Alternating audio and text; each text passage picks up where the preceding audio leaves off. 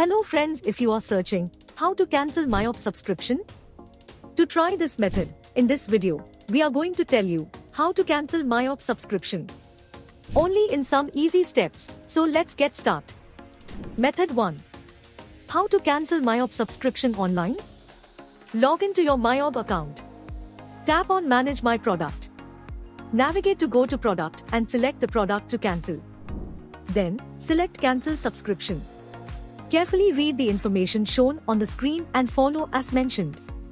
You can still use your subscription benefits until your current subscription period ends. Method 2. How to cancel MYOB subscription via contact support. Visit website. Now navigate contact support. You will be then shifted to the contact support page and your name is already filled in the name section. Type the serial number of the subscription in the serial number field. Describe your subscription cancellation request in the subject section. Select account and subscription under what can we help you with. Section. Select cancel my subscription from the drop down menu under what's your issue. Section. Then, give a valid cancellation reason in the next field. Finally, click on the send message button.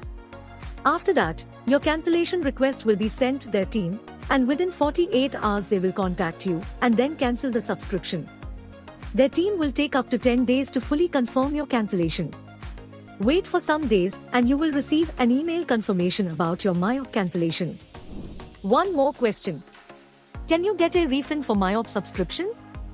No, full or even partial refunds are given for cancelling the subscription.